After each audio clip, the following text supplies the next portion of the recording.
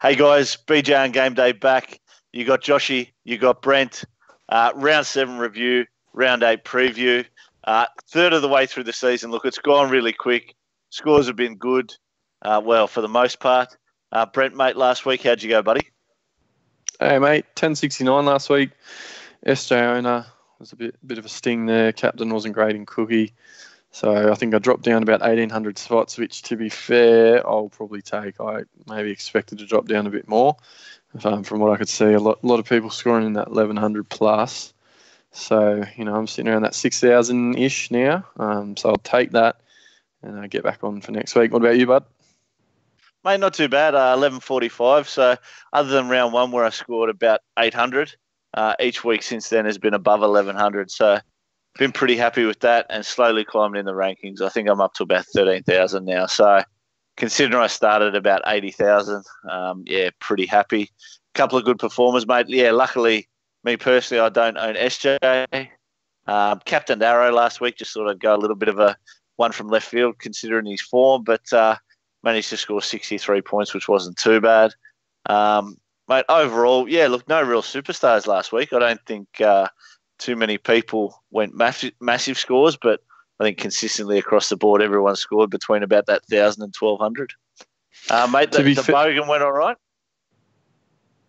To be fair, Sivo probably saved me all week.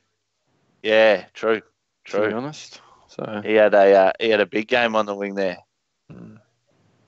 But um, mate, crystal ball from last week, none from three. The both of us, mate. We did this one a bit off the cuff. We actually hadn't planned anything last week, guys. So we sort of did this on the run and none of us really got anywhere near it. So that that's one we can quickly forget. Into this week's oh sorry, into last week's reviews. As you can see, the top five scorers, three guys turned up last week. CHN, Corey Harawira-Naera. Corey Waddell, massive week for the uh, the cheapie for Manly. So plenty of people who got on him early. Uh, we did uh, recommend him to a couple of our uh, viewers, uh, but unfortunately, nor Brent or I were on that uh, Corey Waddell train. And uh, Maika Sivo, as we just mentioned, did well for, for Para and continues to rise in money. So pretty happy there. Mate, the Roosters on on Thursday, Anzac Day footy, managed to take care of the Dragons. Not exactly a tale of two halves, but the Roosters got out fairly early in the first half, mate, and the Dragons came home in the second. The Roosters at the end of the day just too good. Yeah, good game. I thought the Dragons were maybe going to try and take it off them at the end there, but late try, Taukeiaho. Uh, Roosters just keep on winning.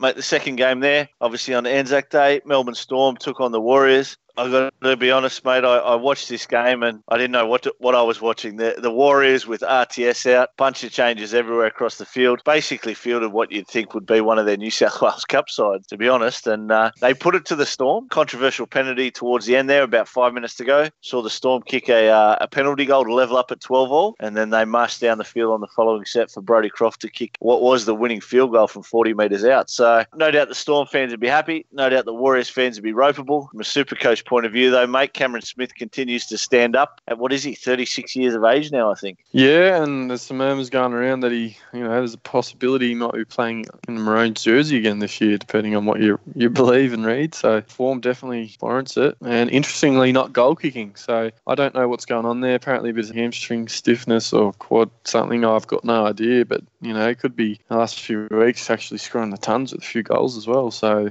yeah, going real good. Yeah, a little bit of a groin strain there. I think, look, there are some rumours around, obviously, with Cam Smith getting back in the Maroons jersey. Maybe that swan song. Um, I think that probably more centres around the fact that Jake Friend, which was probably going to be the, the guy who replaced him as is out for long term. McCullough really hasn't been firing. Benny Hunt's obviously played the nine at a few different clubs that he's been to, but doesn't seem to sort of step up on that big stage. So that'll be an interesting one. Uh, the Friday game, the uh, the first one we watched there was the Bulldogs and the Cowboys, and uh, the Bulldogs uh, well and truly sort of I don't know just controlled that match the whole way against the Cowboys, winning 24-12. As you can see there, Corey Harawira and Nira, massive score of 141 points, got over the line twice for tries, and uh, was just brutal across the park. Off loads, tackle bust, the whole lot.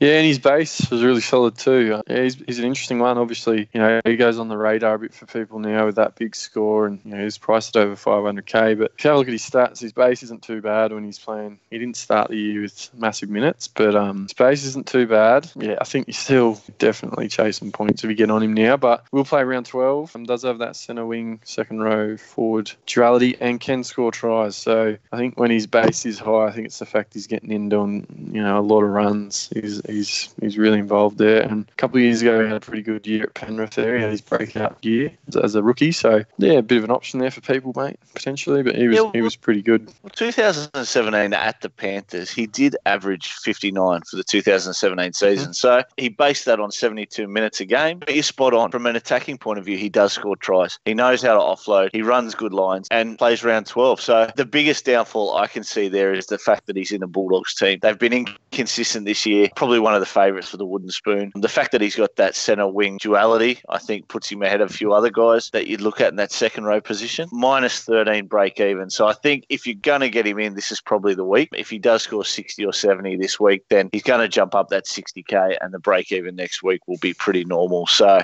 I think it's do or die now. If you haven't got him in so far and you do want to, uh, it's got to be this week. Uh, Friday night football, we saw the Rabbitohs take care of the Panthers. Again, the Rabbitohs got off to a bit of a quick start over the Panthers uh, and ended up running out winners 22 points to 18. But, mate, from a footy point of view in general, I thought probably this was Penrith's best game of the season. They seem to be a lot more in control, but they just come up against a a well-drilled Rabbitohs side, but definitely two teams that obviously uh, could uh, factor in the top eight. Yeah, I didn't actually get to see this game. I was, I was unfortunately only saw a couple of bits and pieces of it. From looking at the card there, it just looks like the Rabbitohs got away to a bit of a good start on them, and um, Panthers struck back. They didn't score a try until the second half, based on this. So had a bit of a slow start, but yeah, Rabbitohs just getting the job done, much like the Roosters this year. Just winning tends to be a habit. Cody Walker obviously had a really good game again. Set up a couple tries there, scored one for himself. So yeah, I definitely see the Rabbitohs the team that's going to be there, probably one of the last four teams of the year. To be honest, I'd be surprised if they weren't. And yeah, I'm sort of thinking who can beat Roosters, Melbourne, or the Rabbitohs this year. One thing I do want to point out, I've seen a bit on, on social media about Cody Walker now. Anyone who doesn't have him. Now, this guy, 8% ownership, he is a true potter at that price. Basically, if you didn't own him, you sort of can't afford to get him in. But there has been talk from a few people who've got a bit of cash sitting there about buying him in. One thing I would say about Cody Walker, and he's shown it in seasons past, is that he obviously has those brilliant games and he can produce from a super coach point of view, but he does then go into a lull. So I- I'm tipping probably within the next sort of four to six weeks. Uh, he does play round 12, but I think he might drop back down into that mid 500s. I think if the average goes back down to sort of like that mid 50s to mid 60s, he might be a, a get on sort of midway through the season. Well, he scored Um, since that, that week, mate, that I was gonna pick him up. He scored over 300 Gunner points woulda, in three shoulda, weeks. coulda. He was priced did. at five 595k that particular Yep. week, and he scored over 300 points since then. Filth, absolute Yeah. filth. Gotta be, gotta be. Saturday game, mate. The uh, the West Tigers took care of the Titans. 14 0 down they were after about 20 minutes. 30 unanswered points. Mate, Esan Marsters was absolutely huge. Did you see this game? No, I saw the second half of this game, and to be honest, it, it was all that that Tigers backline. Um, they got some big outside back, uh, May, Fanua, Jennings, Marsters, and, and they all stepped up, didn't they? Fanua crossed for a hat trick, if I'm not mistaken. Jennings got a double, and Marsters, yeah, he's shown again why he's you know one of the premier centres in Supercoach. His goal kicking's not not very good though, mate. Yeah, Tigers can't pick them this year. They're just they're getting hammered one week and then putting on something like that the following week. I've got no idea what's doing there, bud. Oh, mate, look, you look at just those two games. You look at that game with the West Tigers over the Titans, and then you look at the, the Sunday evening game, or Sunday other game with your boys beating the Eels. The Titans smashed the Knights last week. You know, the Eels smashed the Tigers, and the roles are hmm. reversed. So it's a little bit hard to follow at the moment. But Saturday night, mate, my guys were in the end of an absolute shellacking. The Broncos is far too good. Now, you can make all the excuses you like for the Sharks having injuries, but at the end of the day, you got 17 blokes against 17. You got to perform better than that. The Broncos were obviously good. A couple of their young forwards stepped up and really laid the platform early. I thought Payne Haas was good again. He didn't play big minutes though, mate. He uh, there's a bit of talk around that he would play 80, but I think he got that reduced to about sort of 55 or 60. Yeah, and I think Brisbane, there was a lot of pressure on them- on them going into that game. Um, obviously, had only won one game all season. I think they just out enthused you early, got a couple of tries on the board in quick succession. You lost SJ not too long after that, sort of threw into tatters. I think you lost someone else, whether it was to HIA or something else, and then you had obviously Nakora was out. I think who was it that was playing that debutant on the wing? Ronaldo's had a shocker. I don't think he caught a ball for the first 30 minutes of the game. Uh, think he Kennedy was- had. I, think he thought he was playing soccer where you're not allowed to use your hands.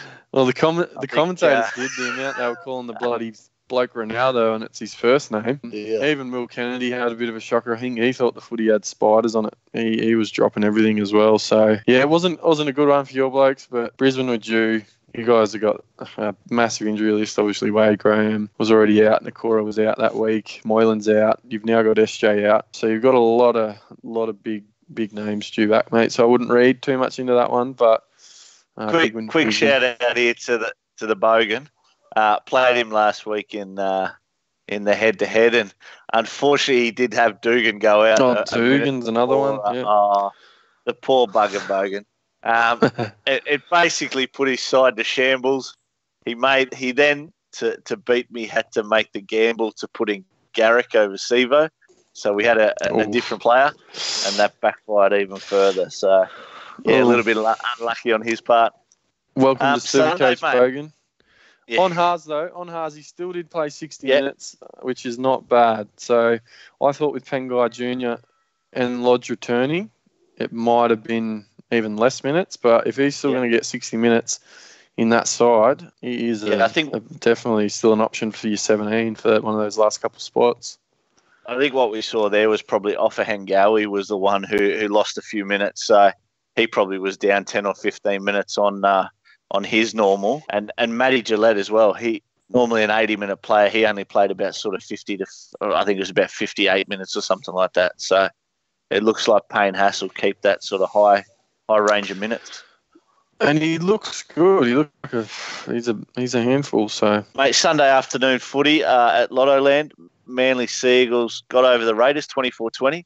This was an absolute cracker of a game. I, I, I love watching this game, and I think it just goes to show how good you know Sunday Arvo footy is. Yeah, everyone's got the day off. Everyone can just sort of sit back and watch it, whether you're at the stadium or whether you're uh, sitting at home watching the TV with a couple of mates. But um, the footy was good from both teams. I'm sure a few super coaches are, are devastated with uh, Jordan Rapana going down with that rib injury. that should only be short term. He's out this week, but he should be back next week.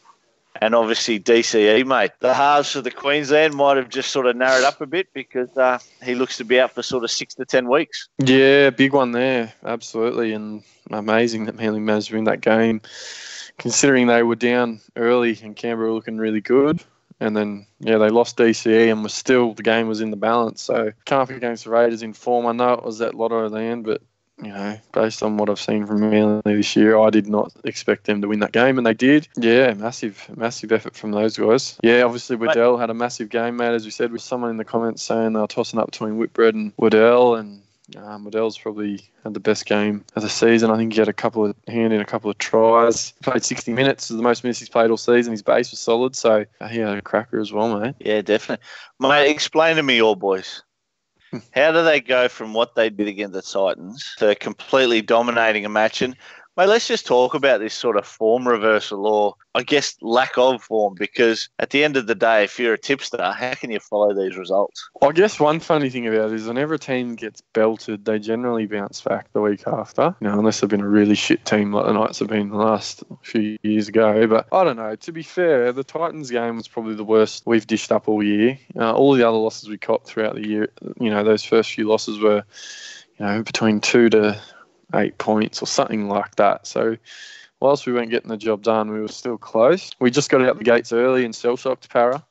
Got away to a 20 0 lead pretty quickly.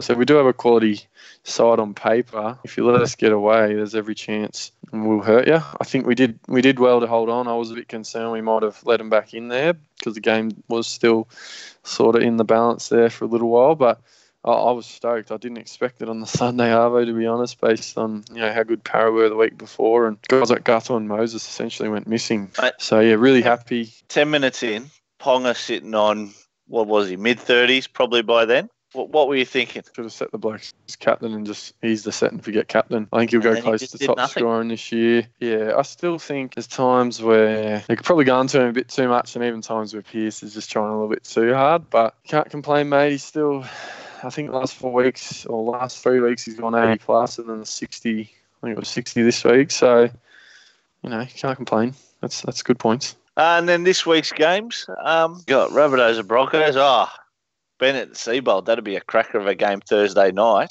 I like the favourites this way. Actually, I remember I put my tips in earlier this week, and I just sort of went all the favourites. I think Sharks are going to get touched up by the Storm by thirty or forty. We're just we're just not a good team. Not to say we can't compete for the trophy. I think once we get all our blokes back, I think uh, the Sharks will be a force to be reckoned with. But uh, for now, mate, uh, anything you're looking forward to next week?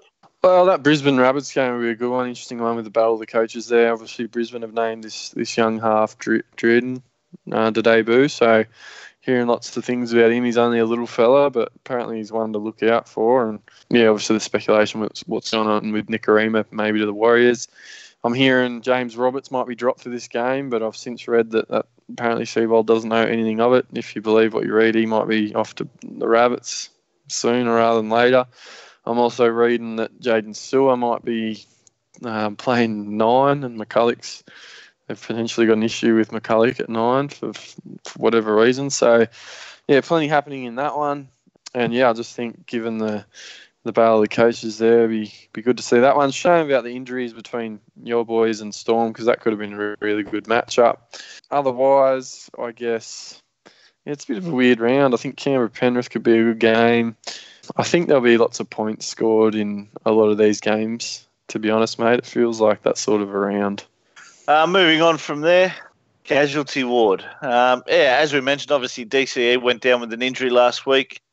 Um, Josh Dugan was obviously injured before the game. Shaun Johnson went out. Shaun Johnson probably expecting four to six weeks out there with a hamstring. Um, mate, there's a lot of hammies going in these games lately. What are your thoughts there? Yeah, good question. It's sort of like it's weird, you know. There's always this. There was one year where everyone was getting the syndesmosises and and there was one year everyone was doing pecs. Um, I don't know. It's got to be something they're doing in their training, or they're too much weights, or I don't know, mate. It's it's bizarre. It can't be surely to a lack of of warm up. They spend God knows how long warming up each before each game. So I don't know. Maybe it's the, the turf. You know, the grounds aren't great. I've got I've got nothing. But yeah, yeah obviously a few big outs this week with um, obviously DCE, SJ Rapana's out. Um, yeah, so going to start to probably test a few people there, super coach wise. I mean, if you're an SJ owner, what do you do? Um, I personally think he's a trade given he's due back around round 12, but he won't actually yep. play round 12. So he's probably five weeks out if you believe that. Um, yeah, so Joshy anyway, Reynolds was another one who was injured yeah, over the weekend. Reynolds. Now, obviously not as, as relevant super coach was a lot of other players, but um, I did notice a few people put up that they got his minus three score from the weekend. Uh, so pretty unfortunate there if you had him. Um, but yeah. uh, let's lead into. Yep. No, right. And, sh- and sh- yeah, hopefully Shecky back this week for those people who got Sheck. Yeah, obviously uh, RTS named uh, was a late withdrawal last week. And one of the things I, I sort of saw funny, you know, obviously the rumours came about, and once the rumours start to come about, they're generally fairly true. Uh, but Stephen Kearney denied it, you know, pretty uh, aggressively. But uh, yeah, he was out as the rumours sort of predicted, but uh, named at fullback this week, so hopefully he can start for his owners. Um, but yeah, speaking of that, uh, we'll bring him up a little bit more on the trading floor. So let's move to that one. Change places. Change places. All right. So whose trades we got up first? Hampton. Yeah, so, mate, so what did you end up going? Last week. It's obviously the host out Haas in. Host ended up getting named to start, but doesn't matter. I think it was only temporary. Um, Haas went well, made a fair bit of cash this week. Happy with that. Well, I ended up going Latrell. I, I wasn't going to because he got named at six, but Liam ended up getting brought into the the starting side. I think it was, and they shifted Latrell back out to the centres. Look, it ended up being a better trade than Leilua. Had he not had that try disallowed for the obstruction, I don't know if you saw it, Joshy, but he potentially scores a 80 plus, maybe if not more. So that one stung stung a little bit, but pretty happy to have Mitchell in now. I just think you know once he hits a bit of form, he's he get, he gets red hot. So got him in now. Don't have to worry about it. He's bounced back up near 600k. They play the Tigers this week. Let's yeah, it's done now. Don't have to worry. And obviously you, you got rid of Ravalawa, mate. Anyone who does have him, look, this guy's just a sell. They don't play 12. Um, Euan Aitken surprisingly been named on the bench. Zac Lomax to uh, to the centres, and Ravalawa has got that wing spot. But um, I don't think that'll hold true long because if Euan Aitken needed a wake up call of band dropped to the bench, uh, this week might be it where he forces himself back in. Absolutely, mate. And I think once Ravag actually got named on the bench, you had to get rid of him. He already, already was a semi sell, but I have no idea what was going on there. I, I, I'm not sold that Aitken will actually start on the bench still. I think it could just be nah. one of those things to give him a bit of a wake up call. But Rava, definitely, if you haven't sold him, start thinking about because he could start to leak a bit of cash now. He's got that 10 in his, his rolling average. Yep. So, you, mate. Uh, next page here. Mate, uh, these were my trades last week and actually went with these. Um, Tavita Totola came out for Payne Haas. Again, just sort of a money grab there, but this bloke could turn into a keeper if he keeps playing sort of 60 minutes. He's a big body, plenty of athletic ability. Obviously, just needs to develop as a footballer, and yeah, this will be bloke will be a star for the next 10 years. Uh, the other one, now I dropped Jordan Pereira and I went Waqa Blake. A little bit of a sort of pod search here. I was trying to get someone who obviously most people wouldn't have. I didn't actually count on him switching him from the right side to the left side. There were glimpses. There were some amazing sort of things between him and Kikau, but at the end of the day, he just didn't put the points on the board for Supercoach. Only scored 31. Uh, Pereira scored 43, so he's just going to start dropping cash now. But I made my hundred plus grand out of him, so I'm pretty happy there. Waqa Blake, he only dropped about five grand, so at the end of the day, he is bargain basement for a bloke of his ability. And I think in coming weeks, plays around 12, obviously, with the Penrith Panthers, I think he can start to perform again. I would like to see him back on that right side. So I'm hoping once Dean Dean Whare comes back, that switch will happen. But for now, yeah, it'd just be nice to see him cross the stripe again. Oh, I think solid pick anyway. He's still, he's probably bottomed out. I think he's now his break even was around thirty to forty, and their their next month, next five weeks is not bad at all either. Leading into the buy, so I still think he's a really good pod. And if nothing else, he's due and he can go big. So I reckon, mate, you're not far off something there with Blake, and yeah, credit to you sticking with him. I didn't week, think mate? you're going to stick with that one. Yeah, I got a, about a thousand. Look, oh, I think wow. as I alluded to, was a sell. I just think he's too much. You know, he dropped a lot of cash as well in that injury. It was a bit of a pain. He had a 70 80 break even, so that stung a bit. Yeah, I got the coverage there. Um, I can I can bring in Crichton via Jules. I know Crichton won't play round 12, but again, I just think this is going to be a guy that. How the fuck do you bring in Crichton via Jules to get a halfback in? Yeah, good call. So I've got KP, Kalyn Ponga at uh, fullback at the moment with Teddy. So I've got yeah. SJ at six. I can swap SJ, um, take SJ out, KP goes up. Chance yep. Klokstad can go into fullback. I've got yep. Bateman currently in my second row forwards, and I can swap him down into the ah, centres. Yeah, gotcha. But uh, it was always like a Kumba or Capewell or Bateman. I just happened to have Bateman up there at the moment. So now yep. all of those dual second rowers, second centre wings are all going to be down in my centre wings. Yeah, uh, I just think yep. Crichton's now hasn't gone awesome, but I think he's at that price that I'm happy to get him in again. I think he's going to be a guy that I'll have till the end. He's just over 550. Break even's not too bad, and he's starting to find the try line. I think he hasn't even really chimed in that well yet. I think it's not far away. Tigers this week bit of a risk picking up a guy that's definitely going to play Origin, but yeah, he's one of the young bucks of the comp that, um, yeah, happy to get him in. Doesn't yeah. play 12. And then Kate, well, I think 80 break even. He's done the job I want him to do. Priced at about five, just over 500k. So yeah, I was going, I'm looking at about six different blokes. I could go Leilua like I wanted to. Amon and Aaron. I'm leaning towards Croker. I think Croker's a nice price. He just doesn't have that that natural I guess you know he's a he's a technical centre. He's not a he's not going to palm five blokes off and run over the top of them and outrun someone. But he's just really good with his positioning and obviously his goal kicking. And yeah, he's he's not too, too bad of a price and a break even. I, I can go Marsters. I could go CHN. Um, I could get another. I can get a jewel down there. I've got some other jewel I must have where I could go a lane or to power. So I've just got lots of options. I'm just trying to think which the right one is. I'd love to go Marsters, but the Tigers have probably got the worst three weeks of the competition, the next three rounds. The Tigers played like, geez, I can't remember what it was. I just looked at their draw Let me bring it up here. And it was disgusting. Otherwise, I'd probably just bring in a. So they play the Roosters this week, Penrith the week after, the Storm the week after that, then the Rabbits, then they've got the bye. Jeez. So it's an ugly month of footy, and then you don't have him Yeah. for 12. So I think I'm just off him. I'd love to have gone him. If had they had any other sort of draw, I probably would have. Yep. Um, so at this stage, I'm leaning towards Croker, but yeah, we'll see what happens. This McCullough thing spooked me a bit as well. Um, apparently, he might not be playing nine, so might be having to sort something out there. But yeah, I don't know, mate. That's it's anyone. That's what you do. You Fair don't enough. tell them what, who it's going to be. You just say it's anyone. That's how you get away with it. you, bud? Mate, the, the trades are about to come up on the screen, fucking forget them. I've got no idea.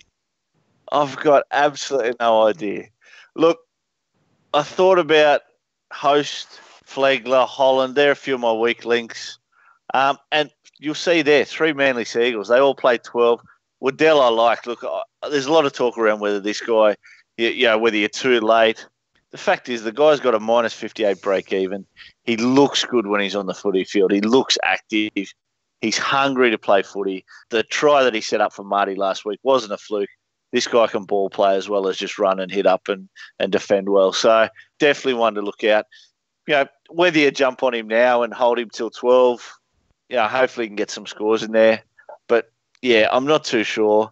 Marty Taupau, probably the reason behind this is most weeks where I'm close in the head to head, he just seems to be one guy that I don't have that I wish I did. Again, whether that's a pod or you know, whether you just follow the crowd, I'm not too sure. But one guy out of the Sea Eagles that I absolutely love is Manase Fainu. Now, this guy started the season 580,000. He is down to 440. He is an absolute weapon. He he just his vision on the field is awesome.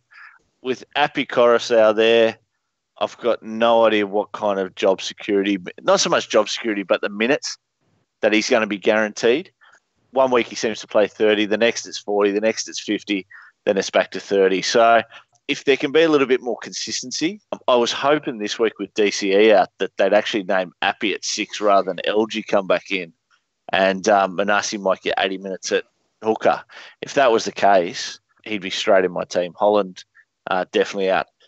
But what I've also been thinking about is maybe RTS. Thinking of getting rid of either Dylan Brown or Chanel Harris Tavita. Again, I've held Dylan Brown this long. Do I just keep holding him for 12? There's the chance that he comes back before then. Eels play 12. Jaeman Salmon really hasn't done much. So does Dylan Brown just come straight back in the team? Maybe he does. Harris Tavita, there's arguments there that with Nikorima going over there next week, if that tends to be true, maybe he's just a hole for another week. Basically, I've got no fucking idea. I think it could be one of those weeks where you realise we don't have enough trades to trade every week to get us to the end of the year. Do I just not trade at all? So, guys, what you see there on the screen, yeah, it's definitely not going to happen. Uh, could well do still, uh, but I'll keep everyone posted via the Facebook page, by the YouTube comments. I'll get Brent to chuck them up on Twitter when I do actually decide what I want to do. Uh, but for now, uh, take it with a grain of salt. Super Coach Fortune Teller. What do we got this week, mate? I, I've gone a bit safe this week. I've yeah, I've gone a little bit safe. We go. We're just going to carry over with the with the Weet-Bix with the Tabasco. We might do it. Do you want to do a shot of tequila along with it afterwards? Yeah, sounds good. Yeah, jackpot every week. Oh Jesus Christ! If we go ten weeks straight, it'd be like winning the skins at golf. If you jackpotted every hole, that show will be off the hook. Uh, mate, to turn up, I've gone a safe one here with James Tedesco. I reckon um, he's due. Uh, he's playing the West Tigers. His former team. I think everything just adds up here. I'm I'm pretty keen on Teddy this week to turn up, and uh, I'll be having the big C on him this week. Back to what was the set and forget. I've changed it a couple of weeks, but uh, we'll go back on Teddy this week. Mate, the redemption arc. I've gone with John Sutton. Now, I think he scored about 35 or, or so last week. The, the Bunnies and Broncos games always seem to be cracking games, and I think this this year will be even more so, obviously, with uh, Seibold and Bennett switching places.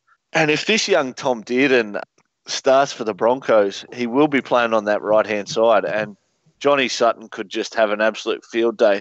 I've heard that this guy is uh, is weak uh, in defence, and even from a Queensland Cup point of view. So I'm tipping Johnny Sutton can actually crack the 75, and uh, and uh, he can be riding my redemption for the week, mate. What are your thoughts there, Hampton? Oh, look, I don't think they're picking Driden uh, for defence. So, or Dearden, whatever his name is, he's probably 40 kilos ringing wet by the looks of him. Um, so, yeah, some plausibility there. I reckon Sutton is, I don't know what his minutes have been like, but he's probably due for a pie. I don't think he's crossed this year. So if you get a pie, he might go close. I don't know. Again, what's his minutes been like? Let me go. Supercoach, NRL Supercoach stats. Yeah. No, his minutes haven't been too bad. Yeah, we'll see. He has not. He scored about 50 once all year. So, yeah. So We'll he's see. due. So he's He's so definitely set. due. He's dead set due. He's, he's he's priced well if anyone wants to get on him. 381k. Johnny Sutton hasn't been 381k since 2015. So get on. get on. Get around him. and the wild and wacky, I've got to be honest, I got no idea. Oh, I went, Bogan, you're supposed to write this up there. I can't remember what I went. I went a little league. I went, what did I go? I went four, four blokes against four blokes. I've gone the mini fellas. I've gone like Damien Cook, Mitch Rein, Ben Hunt, Brodie Croft, and on their score to be Sam Burgess, Tyson Frizell, Jai Arrow. Who else we got? No, keep going, Bug. All good. What's the fourth one? Nelson Asofa-Solomona. So Oh, basically, that's my wild wacky. Is these Give four me a break. What are you talking about? Cook will outscore all four of them. Come on. I've, I've Who I've- were the first four? uh, Cook, Mitch Train Rein, Ben- is Ben Hunt. Oh. Well, that's got to go up to the bunker, surely. That's that's about a oh, oh, dollar. That's about a dollar ten. That that for. Is- Get in the comments. is- Write yeah. them up. Write them up who they are in the comments. The I- only thing that might save me is that Hunt might not play this week.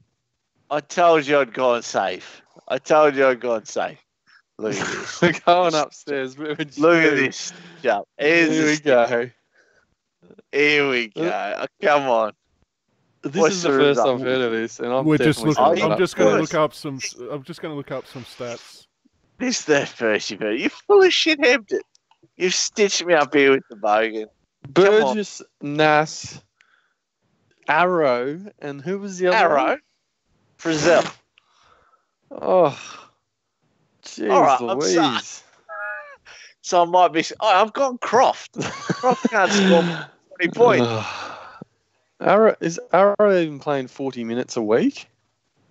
Mate, he's due. I put him as captain last week. He's due. Uh, his minutes. Uh, uh, not. All right. So Oh, Arrow, Bur- Burgess, maybe. Arrow, and Frizell Mate, all seem to be consistent scorers.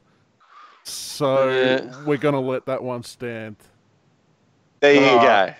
All right. See? Look, maybe I go. might be more harsh, and maybe I could be eating my words next week, and you'll be eating Weet-Bix with Tabasco as a result, and that'll be fine. And tequila. Yeah, yeah, yeah. Uh, What do you I got, need it in front of me. See you. Oh brilliant. yeah, so really interesting. Obviously, we don't talk to each other about this, mate, and I've gone Oh, to for you the ton fuck's up also. Um, so that one's going to be cancelled out, and I will likely go Teddy as captain this week as well, based on that. Obviously, I'm. I don't know. I'm, I still want to go Ponga, maybe against the, the I Warriors. first. You can't have him. I think I'm, I might vice Teddy see Ponga, depending on what the weather is like in New Zealand, because you've always got to be wary of it in New Zealand. Uh, I've gone Tupou, obviously. I think that he didn't score, he scored less than 40 last week, and I think that the Roosters might put on a bit of a cricket score in this one. That being said, I think the Tigers outside backs, I don't know how they're having so many points put on them. They've got a not a bad squad on paper, and the outside backs are huge, but yeah, they're just not defending too well at the moment. You know, a better team would have probably put them to the sword after the start the Titans had last week. So I'm, I'm tipping Tupou probably crosses for one, if not two, and cracks the 75 barrier. And me wild and wacky. So this is proper wild and wacky. So the fixtures for this week. So the first four games of the round, Joshy. So Yeah. Rabbitohs, Brisbane, Cowboys, Titans, Cronulla, Storm, Raiders, Penrith. I'm predicting that for well for those fixtures they'll score. Well, it should be the, the best way to explain it is for the the last four fixtures that are around, which is Seagulls, Dogs, Roosters, Tigers, Warriors, Knights, and Eels, Dragons. There'll be The What more are you than talking about? more than double the total amounts points scored in the last four games than the first four What games. the fuck is to do with Supercoach? None of this has anything to do with Supercoach. It's a fucking Supercoach show. Last week I did all the ones that were the margin of the games It was going to be by less than six points. No one pulled me up on that. Fuck it. I thought you would have learnt your lesson. I thought I didn't have to tell you. I didn't know. I, I reckon this this wild and wacky one is exactly that. It's wild and wacky. Supercoach. Fuck all right. Well, let me. All right. All right. Let's just do it. For, So wait, wait, wait. No, no, no. Let's let's hold it. Let's hold it. What are you going? What you? so the the, last four four games games. of the round, there'll be twice as many points scored than the first four games. the last four, twice as many points. Double the amount of points, total points scored. Sorry, I I'm g- fucking- going going live again. The um, the text that Brent sent me yesterday was the total amount of points scored in the last four games of the round will be more than double that of the first four games total points. All right, I understand. So if there's 50 points scored in the first four games, like you total need points 101 better in the next four. Yeah, I gotcha. Let's be honest, there's probably no chance, but I'm struggling to think of things for this bloody segment. You're Yeah, killing it's, me. it's a little bit hard. It's a little bit hard. All right, what do we got after uh, crystal ball? Topic gate. Right, what's topic number one? By planner. Yeah, I write these recaps up and then I leave the sheet at work and I've got no idea what I was thinking about when I wrote it. There's now four weeks until that first buy round, or you know, four right. weeks worth of trades. how many this is the right amount? You, you surely you can't have 17 and expect in round 16 or 17 or whatever the second buy is to have 17 as well. You just can't do it. I think 12, 12 is probably not bad. If you've got any more than that, 13, 14, you're probably doing well. Really? Yeah, Uh, I sorry, seriously reckon. sorry, gents, I'm live again. Um, the exact wording for topic eight, written up by Joshy. The casualty list grows longer for some teams, and concern surrounds who plays 12, Origin, or misses both. DC gone for your halves in the, the round 12 bye. Will Dylan Brown be back? Does Mitch Moses put pressure on Cleary and Maloney to remain a unit? Can Ash Taylor step up?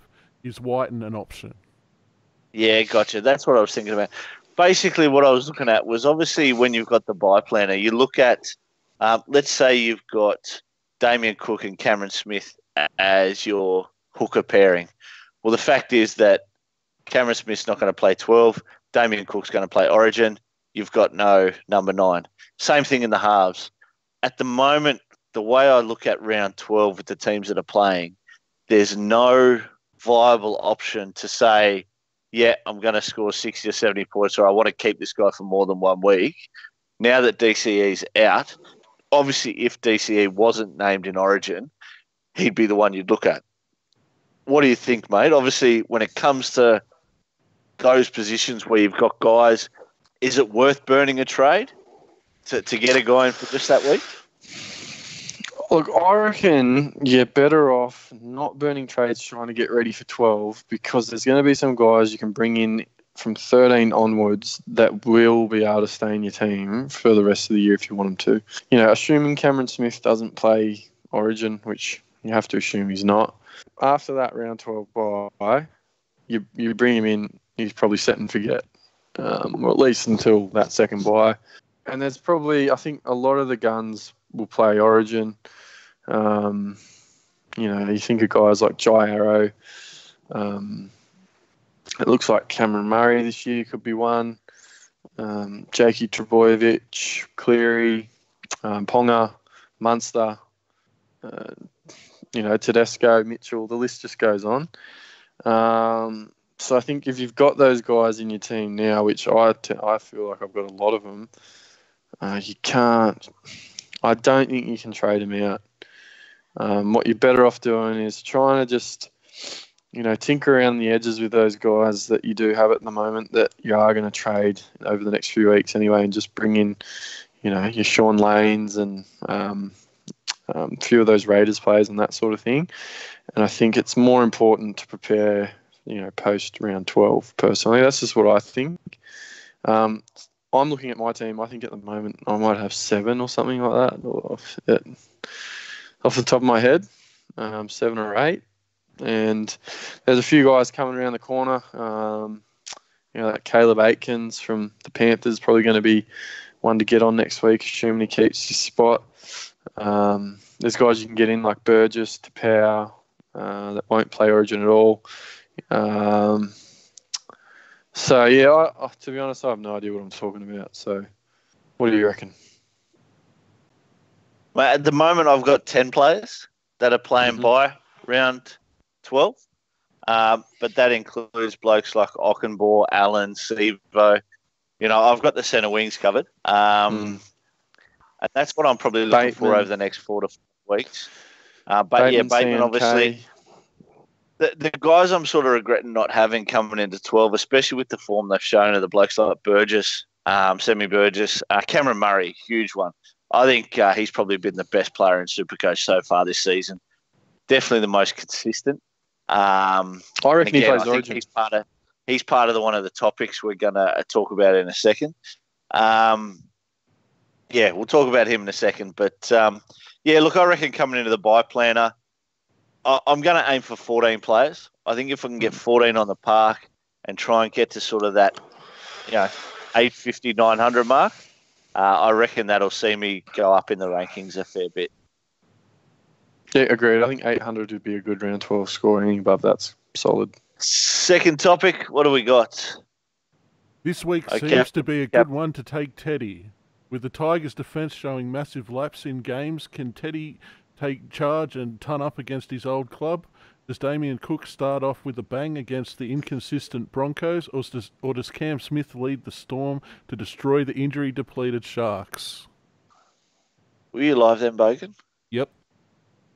I like your YouTube voice, mate. That's a good voice. Very strong. Oh, captain, my captain. Look, um, I think it's going to be some common captains this week. A lot of people are going to go Teddy. Vice captain's going to be, you know, Cookie, depending on obviously. Basically, the Broncos are looking terrible and, and the Bunnies are going all right. And whether the Broncos can continue the form they started to show against Cronulla last week. And those who do have Cameron Smith may want to sort of take that gamble because Cronulla do look terrible at the moment. So either one of those, mate. Thoughts? Yeah, um, I'm thinking the same. You either go Cookie the Vice on the on the Thursday, or you either chuck it on Teddy if you don't captain him. I'm looking at Ponga. Just have to check that weather. All right. Well, let's use your ten percent wisely. Let's go to the next one. Let's let's roll through these. Return of the King, King Gutho. Uh, shit week last week for this bloke. I think he scored 29 points. Shout out to Dan Nichols at work who captained him. You're a legend. um, let's talk about obviously contracts. Again, another topic we're going to talk about is the Eels and all the contract off contract players. Is there any truth behind this? Off contract players that play better? Oh, I don't know. I guess it's, it just happens so often that guys hit form that they must. Um, like, what else can it be? I guess if you need, you're not worried about getting paid, you're probably going to start playing a little bit better. What I find interesting is, you know, someone like Gutho, who's so been so influential for Parramatta, how they haven't wanted to throw money at him to keep him. Um, he's now potentially been offered some big money from Manly. Um, so depending on what you believe, I, think I think there's some truth to it, definitely, but uh, I don't know. Like, was it a couple of years ago? Para had their breakout that big, that good year. Yeah.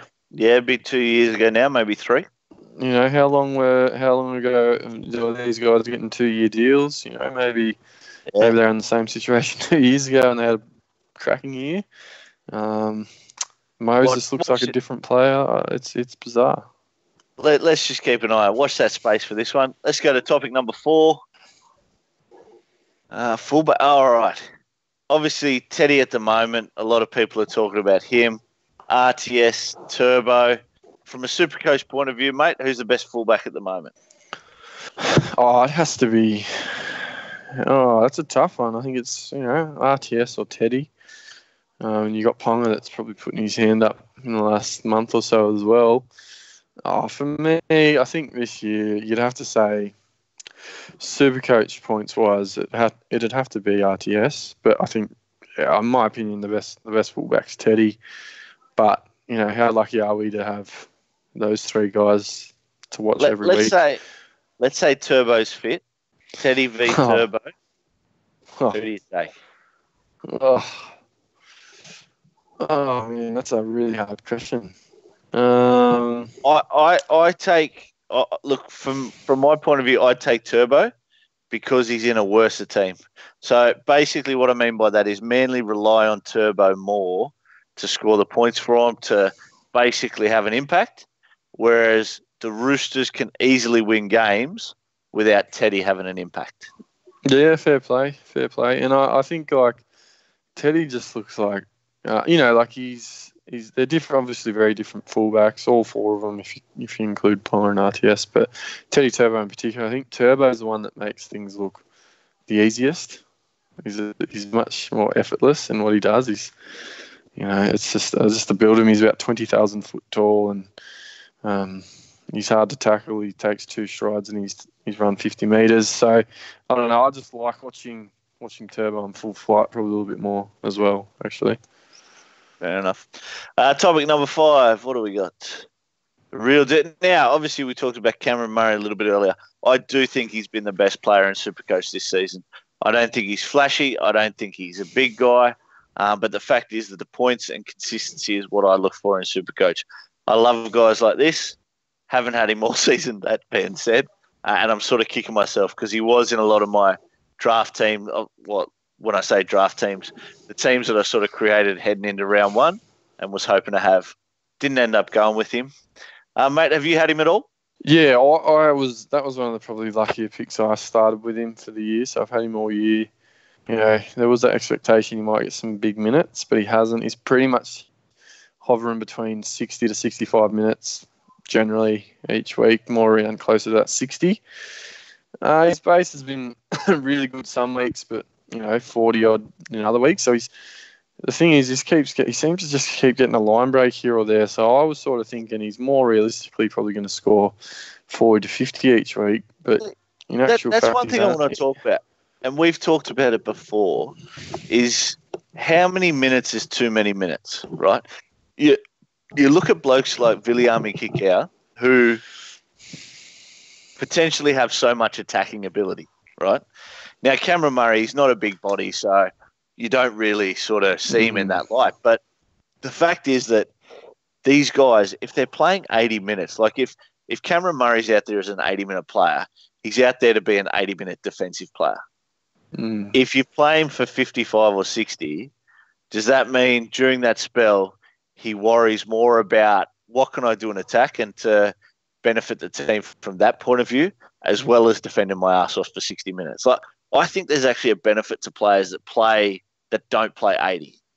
I think their ceilings are mm. higher. I think the consistency or the defensive ability means the 80 minute player is sort of always going to score you 55 to 65. But I don't think then they've got the energy levels to concentrate on attack to maybe ton up every now and then. Yeah, I think it's a really good point. It's that sort of quality over quantity thing, isn't it? And with Murray in particular, I think he might actually be really underrated as a not so much a ball player, but you know, a guy that hits good lines and you know um, pops up in the right place. It's it's not an accident. I think he, that because he's just, he's not much of there's not much of him. He's only 21 years old, but I think he could be really underrated as as a bit of a an attacking weapon as we're seeing this year. Maybe um, I'm expecting it to dry up, but it just he just keeps on popping up in the right place. Um, Gerbo has a bit of a habit of it as well. He doesn't look like much. He hasn't done a great deal this year, but he's always good for a you know one of those good short balls to someone else for a try or just popping up and scoring a try. Uh, maybe he's another one of those. Definitely, definitely.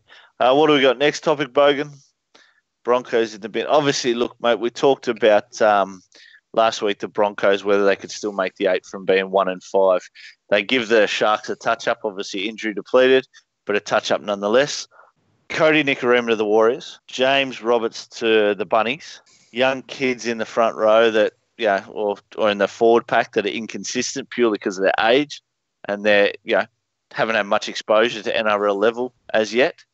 Um, mate, what is the go with the Broncos? Is obviously Wayne Bennett leaving completely screwed these guys? I don't know. I still think they got probably the best young pack in the comp. Um, you know, I'm reading that they think McCullough, if McCullough doesn't start hooker this week, I'll be surprised. I still think maybe Boyd's just not. You need impact from your fullback, and I think maybe Boyd's just not giving them that venom they need at times. With the fullback chiming in, you know, he's those ball playing. He's getting a bit older. He's not. He's not hitting lines and running holes like you look at some of the good teams and the good fullbacks. He's not the same.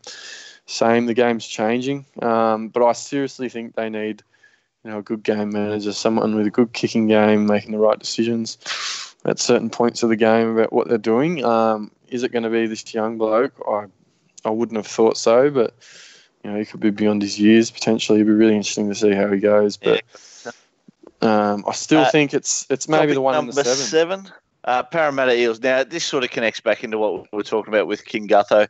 Uh, contracts, everything basically they've got 17, 18, 19 players, I think, that are off contract this year. Yeah, um, that's an unbelievable stat, isn't it? Oh, look. A- again, I mean, the Eels in past years, they've had a few issues at, at you know, board level and things like that. Um, I, I just don't know. I just don't know whether the fact that a player's off contract makes him play better and be more hungry for it. We saw, obviously, I think there was the DCE saga with the Gold Coast Titans, him getting offered big money for long term. Taumalolo's on 10 years, a million a season. I mean, does that make these guys complacent? Does it make them not hungry enough to be to be better, to, to improve from week to week? Um, you know, any any professional sports person wants to be the best, but do you then have that work ethic to make you that, or do you sort of leave it behind? Yeah, it's interesting one. At the end of the day, whilst they're still professional athletes, they're still human beings, and at times you've got to get comfy, don't you? There might be the exception there with you guys like Cameron Smiths and Cronks and Slaters and Lolos, and you know that do want to be the best and leave a legacy. But there's plenty of there that I'm sure are just happy to be paid hundreds of thousands of dollars a year to be playing footy, and you'll you'll take it easy at times. And uh, topic number eight, uh, last one here legacy concessions. Now, obviously, the AFL, mate, they've got um, same clubs, you know, father son. Um, you can basically get some concessions with the salary cap. Now, with the talk around the salary cap moving maybe to a point system or or whether that would work or not, um, mate, moving to this sort of things, do you think clubs, if they have a father and son combination that uh, play for the same club, should get a concession? I probably don't. I don't get it as much as I'd probably get junior development. I'd rather see concessions for if you bring in juniors through. Like I know the father son thing's kind of cool, and that you're keeping that that family tie to the club, and it's a good look for the game. And you know, if I I, I just think we'd be better off rewarding clubs that develop their own juniors and you know from us if they've stayed in that system for a certain amount of time and they get concessions that way that being said, you probably give there's some advantages to some clubs straight away, get a bit more of an advantage from that. But if it's promoting development, other clubs that aren't doing it to start doing it and spending money in it, it can only be a good thing. But uh, I'm not sure on the father son as much as that junior stuff. What do you reckon? Mate, look, I, I probably support that point. I hadn't sort of thought about the junior side of things before, and I think that's one of the biggest things you see in football is these cultures at clubs that that breed these kids and breed the better players um, getting poached purely because they can't afford to keep these guys. I think uh, from a Cronulla point of view, we've seen in the past, you know, blokes like, um, you know, you, they talk about obviously Bronson Xerri and and you know guys like that who came through the ranks. I think Josh Addo-Carr was in Cronulla's sort of junior list at, at one stage as well. Whether you can sort of keep those guys Mate, yeah, look, I'd like to see them be some sort of allowance for both. I would like to see, you know, teams not be disadvantaged by what they create, whether it is a, a history point of view or whether it's a current point of view through juniors. So, mate, yeah, what, uh, look, I don't think it should be a massive salary cap concession. you know, but maybe sort of 10 or 20%. You know, these, these guys, if they're on 500,000 a year, well, then 50,000 or 100,000 doesn't go towards the salary cap just to give them that benefit. What about? Uh, I want to hear what the what the Bogan has to say about the, the father son concessions and I'm all for it. I'm actually all for the junior concessions too. I would also put a long service concession in. So if you had a player that was in a father son uh, legacy, was a junior of that club, and say played 10 years for that club, I wouldn't have a problem if the majority of his salary wasn't counted in the cap. I'm a, a bit older than you guys. I really miss the days of club men, and you don't really see it very often anymore. Obviously, you pointed out some ex- exceptions, some Cam Smiths and, and things like that. But I just, as I said, it's a old old man, a boomer thing coming through. I'd I'd really like to see the players really incentivized to stick with a club from um, the start of their career right until the end again. Uh, I think the game is really missing that. And it seems to be like, as a supporter, it's a cardinal sin to change the team that you support ever. You pick a team when you're a kid, essentially, or you support the local team and you support them for life. But how are we expecting the fans to do that if the players aren't incentivized to stick with a team for life? So I think Pretty there's cool. things that we could do with the salary cap that could bring that um, that club identity and that uh, really having a personal connection to the club back into the game, which I think has has diminished a little bit over the past couple of years. Mate, fair, mate. call. Fair call. Um, look, let's uh, wrap it up. Let's go, obviously, over to the, the BJ and Game Day League. Um, and that uh, should kick us off. Now, obviously, last week, uh, massive score from Big Ted, uh, 1,213, led the league. Well done, Big Ted. Uh, mate, the Bunning Snags, they just keep keeping on, don't they? Uh, silver medal this week out of the 20 players in our league. Solid score of 1168. And uh, actually moved into the top 1,000, Charlie White. So, uh, well done, Mr. Charles. Charlie White, what a name. And uh, yeah, look at him. There he is on top, 7,979 points, 120 points clear of uh, Rangers de Janeiro overall. So um, he's starting to sort of distance himself a little bit, Charlie. So he's doing well. And, uh, mate, I reckon he's just going to keep trending up. We, we've talked about it. He's got a, a solid team. Uh, he's looking pretty good. Uh, Blake continues on in second there. Rangers de Janeiro. He's been near the top of the tree the whole season. And uh, the ever consistent Mana with Checkmate. Uh, very, very solid scoring from Mana. Um, I'm up against him this week. Actually I, I checked early because I was uh, pretty keen to see who I was playing, and uh, oh, always worried when I play blokes like him because you know they're going to be uh, fairly consistent. Their teams. Uh, from a head-to-head point of view, uh, we've got Blake still on top. Rangers de Janeiro, he is uh, undefeated still, and then you've got Big Ten and the Bunning Snags at four and one. So. Um, a couple other guys, I think, are four and one as well, or near enough to it. I'd just like to point out, from a head-to-head point of view, points scored against, which means you've played the hardest teams out of everyone else. Who's on top? Yours truly, Psycho Circus. Seven thousand points scored against me. It's ridiculous. Everyone they You've play me, they me- you've decide played to me, haven't you? Yeah, but I beat you. You're, you're not much good, and Tunnel Snakes, you're not much better. They're the two wins I've had because I had to I play beat Muppets you. like you two. I bet you. That's you why bet? you were, you dressed like. Oh, that's right, I- Oh, let's You Let's Idiot. not go there. That's right. You beat me, didn't you? Right. I, I retract. I retract my former statement. Um, last week's results, as you can see them there on the screen, uh, Blakey defeated Kaloi. Uh, a draw, first draw of the season there. Uh, Brendo's team and uh, Pete Top, Kevin Bottom still haven't found out what that team means, but uh, don't know whether we want to. We're a child friendly uh, program here. Um, Big Ted, he was pretty dirty, Big Ted. He, he, he lashed out a little bit on Facebook. Uh, he is absolutely pissed off at this Brendan Blake. Whoever Brendan's bashes are, um, give yourself a, an uppercut because uh, you're letting our uh, league down. We're, we're sort of Mm. ranked around that sort of 1500 because you're averaging 700 a week, you prick. Uh, but anyway, and obviously, mate, um, quite fitting, quite fitting that Big Teddy topped the league last week after dedicated the round to um, his late brother, which is Yeah. unfortunately good on Teddy. Um, massive, massive week there for him. So good stuff, bud. Keep going, buddy. I need a rest. Yep, so I can actually see the screen. It's still on O Captain, my captain for me. So we're moving on to fixtures for next week, I'd imagine.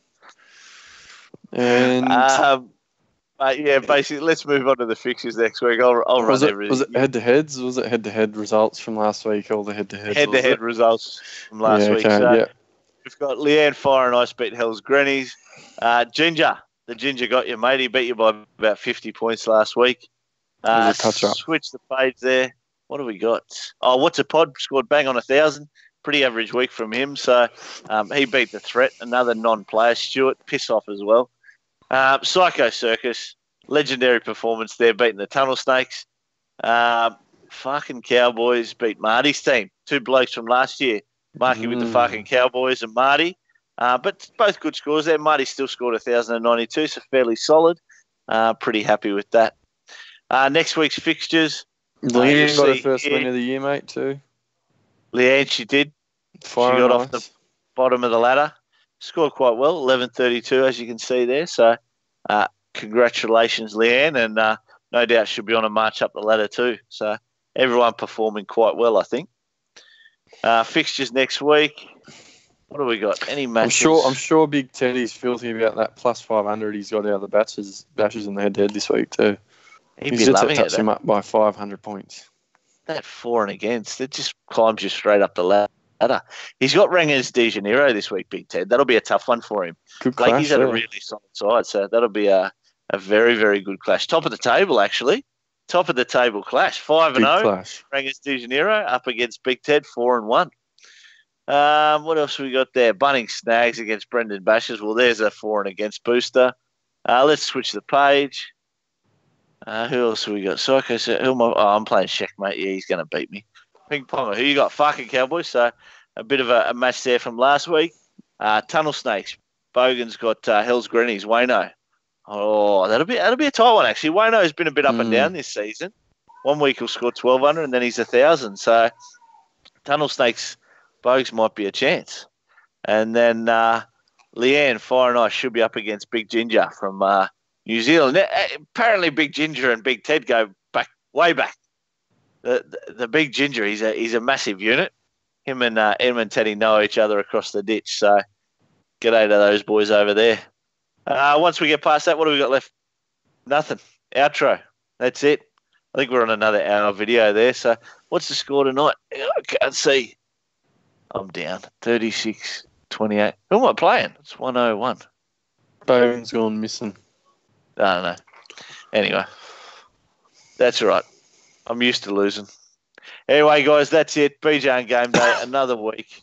Um, give us a like, give us a subscribe, uh, comment, give us some comments, give us some questions. Obviously, we get the same guys every week. Big Ted's always on it. Marty's on it. Uh, plenty of other lads as well. Geo, I, I want to know who these guys are and, and whether we can get them in the comp next year. Whether Geo's part of this season or, or we can get him in next season, um, and a few of the others as well. Amy, we talked to last week on uh, YouTube uh, and told her to get in Corey Waddell. So uh, good call there, and I think she followed our advice and won her head to head. So uh, pretty stoked there. Uh, if you're on Twitter, jump onto Twitter and follow BJ on Game Day, uh, and the Facebook page is there as well. So we're all over it. Absolutely, mate. Um, good stuff again this week. Good luck to everyone. May the trade gods be kind, and see you all next week. See you guys.